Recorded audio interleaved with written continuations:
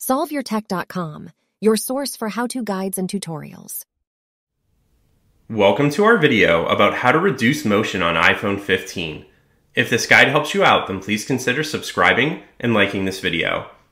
With the default settings enabled on your iPhone, you're likely seeing a lot of animations and movements as you switch between apps and navigate within those apps.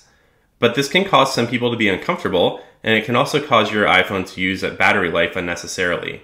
If you would like to change the setting, then you can enable something called Reduce Motion. You can do this by opening the Settings app, you can then scroll down and select the accessibility option, and then you can choose motion in the vision section at the top of the screen. Now you just need to tap the button to the right of reduce motion to turn it on, which is going to cause your iPhone to reduce the motion of the user interface, including the parallax, parallax effect of icons.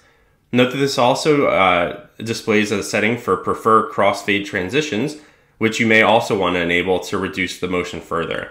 So if you turn that on, then it's going to reduce the motion for user interface controls that slide in when they appear and disappear. Make sure to like this video and subscribe to our channel to see more tech guides like this one. For additional information on this topic and to read the entire article, click the link in the description to visit solveyourtech.com.